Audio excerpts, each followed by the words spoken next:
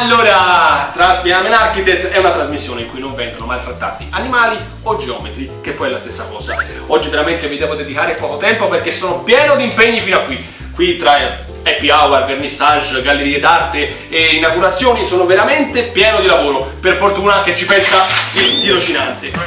Qui veramente ragazzi siamo pieni di lavoro tra progetti, pianificazioni, appalti, fili di progetti ovunque.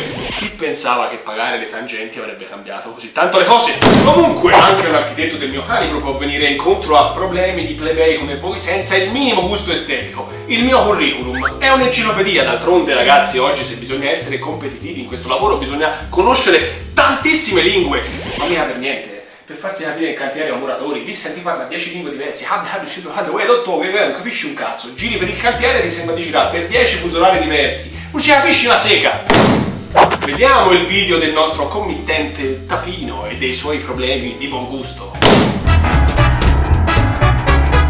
Ciao Duccio, sono Federico, un designer purtroppo in crisi, eh, quest'anno purtroppo ho prodotto un unico prototipo e spero proprio che riuscirai a aiutarmi a piazzarlo perché altrimenti dovrò chiudere i battenti. Ti ringrazio, ciao.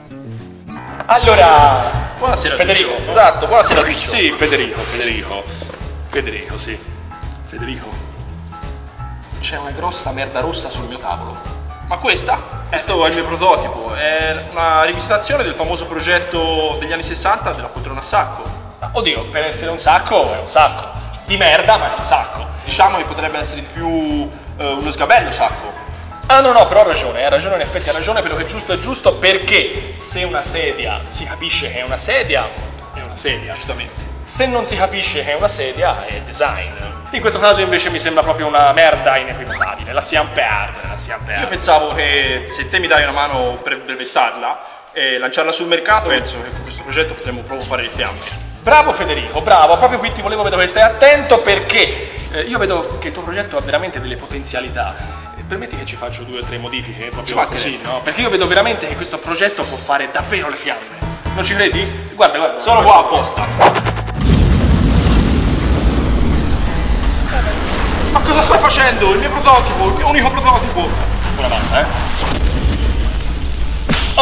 Benissimo. Allora, prima che l'incendio si propaghi, direi di chiamare il nostro tirocinante.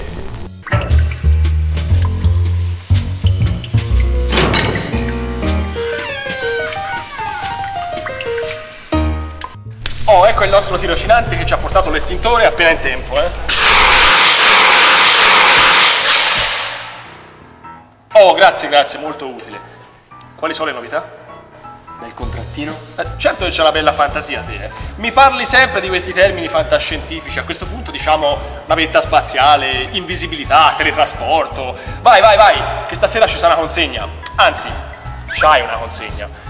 Federico, che ne pensi del mio prototipo? Ma guarda, è una tragedia, è il mio unico prototipo. Beh, insomma, di che ti lamenti? Hai fatto le fiamme e l'ha fatta. E poi voglio dire, merda era e merda è rimasta. Bene Federico, grazie di essere stato con noi, grazie, ti dà le palle. Ah, a proposito, ti ho dimenticato questo. Mi piace fare del bene a chi è più sfortunato. Il titolo di architetto è tutelato dalla legge. È reato fregiarsi di tale titolo senza possederne le caratteristiche legali, quali titoli ufficiali o iscrizione all'ordine professionale. Anche perché, ma voi riuscireste a ideare edifici simili? Via con le immagini!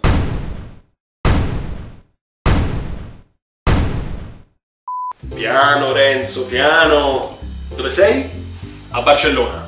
Ah, e che c'è? Miss Van der Rohe.